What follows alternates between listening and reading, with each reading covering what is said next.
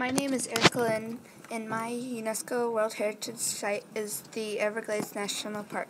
I picked this UNESCO site because it is beautiful and home to many animals.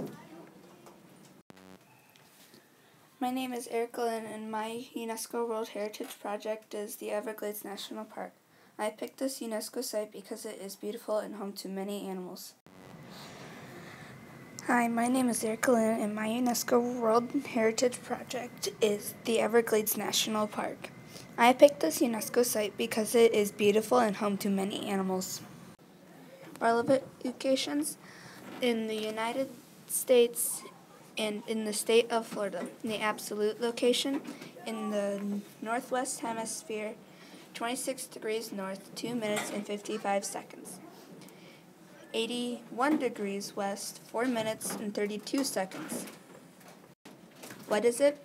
The Everglades National Park is a swamp, is a wildlife preserve, a marsh, a swamp, and a home to many animals.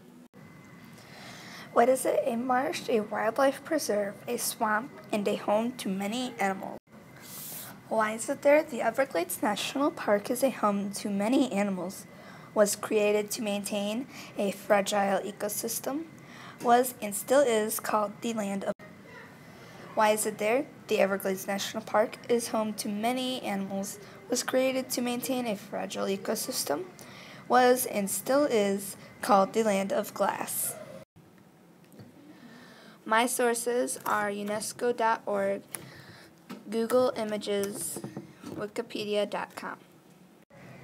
My sources are UNESCO.org, Google Images, Wikipedia.com. Hope you enjoy this video.